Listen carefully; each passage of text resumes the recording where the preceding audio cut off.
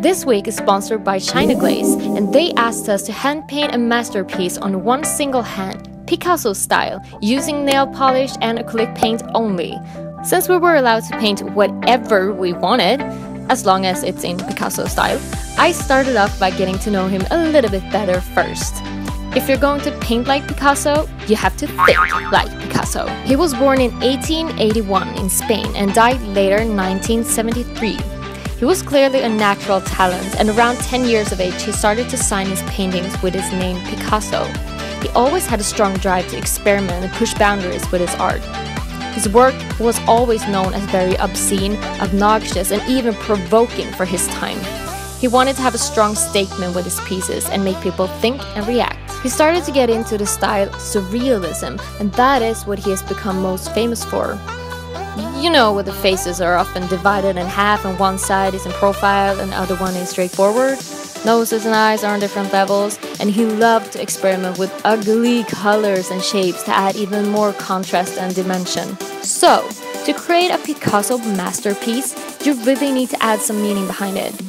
I wanted a theme that is close to my heart and would make people think and react. So I ended up with how today's society affect the way we feel and think about our bodies and appearance. But I'll just jump right into the tutorial and I'll explain my thoughts on the way.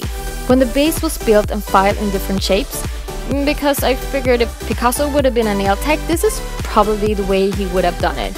I started to push up the cuticles just a tiny little bit extra that way you'll be able to get the nail polish super duper close to the cuticles as it comes back down after a little while and cover the polish. I wanted my base to be solid white so that all my colors would really pop on top of it. When the polish was dry, I started to sketch up my design with some black acrylic paint. Just have something to work with. Okay, back to the theme. I've been working with kids and especially girls since I was 15. I know how hard it is for them growing up with the image of being that perfect woman. They are getting bombed with pictures of perfect bodies and beautiful faces in a whole different way than when I grew up because of the internet.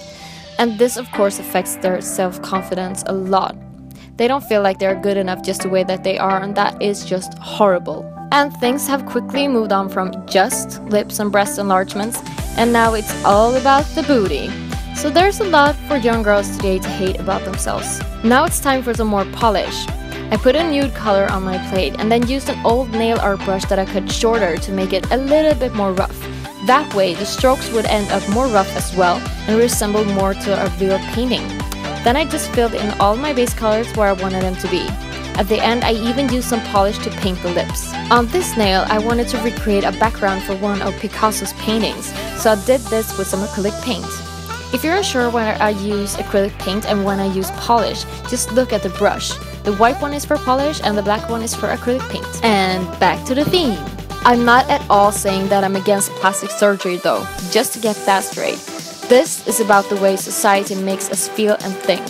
I have beautiful friends who I believe are perfect in every way, but are thinking about getting something done just because all of their other friends already did it.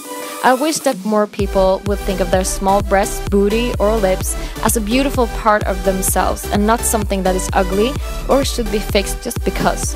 Back to the nails for a second. Here I've started to redo the black lines I did before using some acrylic paint and then I'm going in with layers and layers and layers of ugly, cool colors just the way that Picasso and I like it.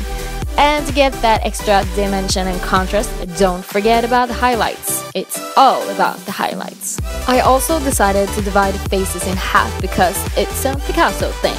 And on the pinky, I painted my Picasso syringe with a zigzag needle to match the background. Time to get ready for surgery. Here I'm drawing teeny tiny blue lines where the knife is going in. And so here you have my finished Picasso masterpiece. In the spirit of Picasso, I would love for you to vent your own feelings and thoughts about the theme I've addressed. Can you honestly say that you're not affected at all? Or are you aware that you look at yourself in a certain way because of today's society? Discuss below as crazy and don't forget to vote. The link is listed in the box together with all of my other social media sites. You can start today at around 5 p.m. until Thursday at 11 a.m., all Pacific Standard Time. And until the next video, love yourself, be kind, and don't say anything about your body that you wouldn't tell your best friend. Peace out and hey